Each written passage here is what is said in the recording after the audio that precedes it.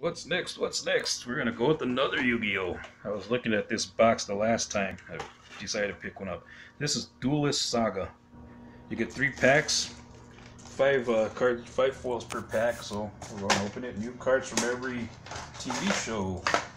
So let's pull these fuckers out and get to work. Why am I the only one who gets shit for cussing on their YouTube channel? I know I see a lot of other people who cuss up a storm, and I say a few bad words, and I get people who like to come on here and bitch.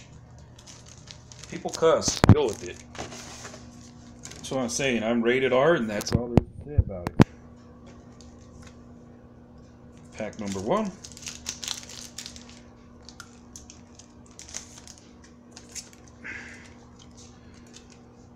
Pot of Duality.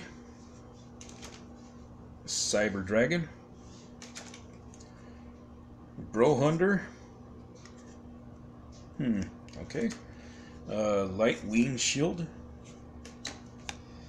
Dark Summoning Beast. Pretty cool. They're all ultra rare technology cards.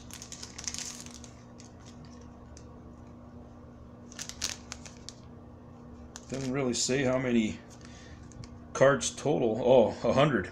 There's a hundred cards in the entire set. Cyber Dragon. And they're all ultra rare. Pot of Duality. I got that in one of the other packs. What a bunch of crap. Uh, Double Fin Shark.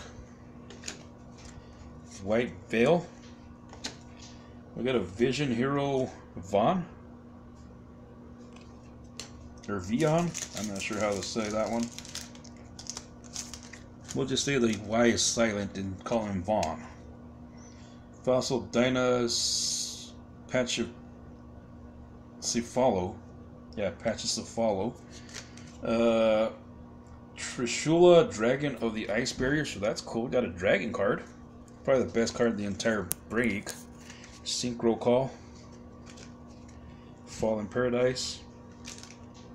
And full armored black Ray Lancer. That's a, not a bad. That's not bad. It's just you know you did get a double, but a dupe. But you know